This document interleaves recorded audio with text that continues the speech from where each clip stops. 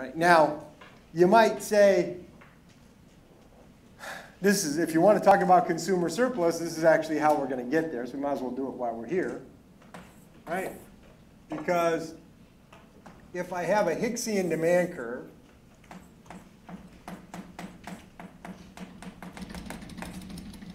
and I got this price, P1, P0, sorry, P10 and P11, then remember that, hey, this quantity, again, this is where Marshall's kind of causing us a problem, but think of it looking on your, standing on your side, looking at it this way.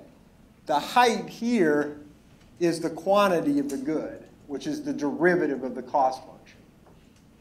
And I'm integrating under that curve, looking sideways, the derivative from P11, P01, P1 naught to P11.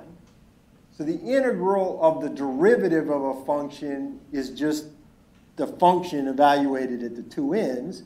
So this area would be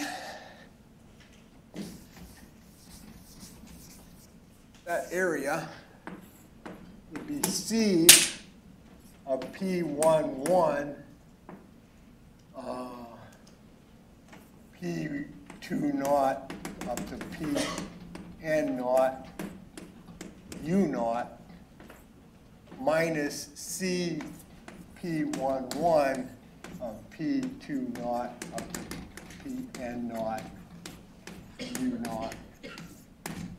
That is, that area to the left would just be the difference in cost at those, should be zero.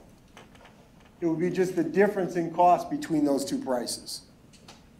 And we know this is a perfect measure of the change in the cost of living.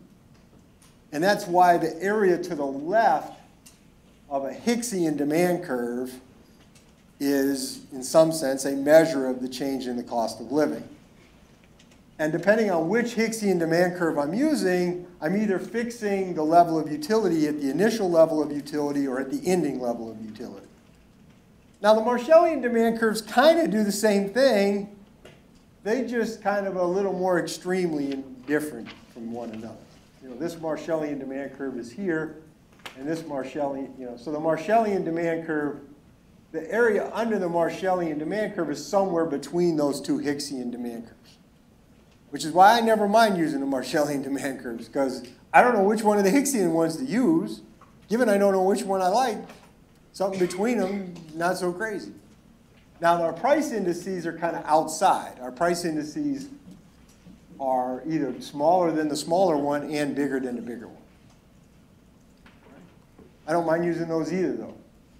Why do I like the price indices? I don't need to estimate anything. I don't need to know anything other than the data that accountants give me, which is quantities and prices.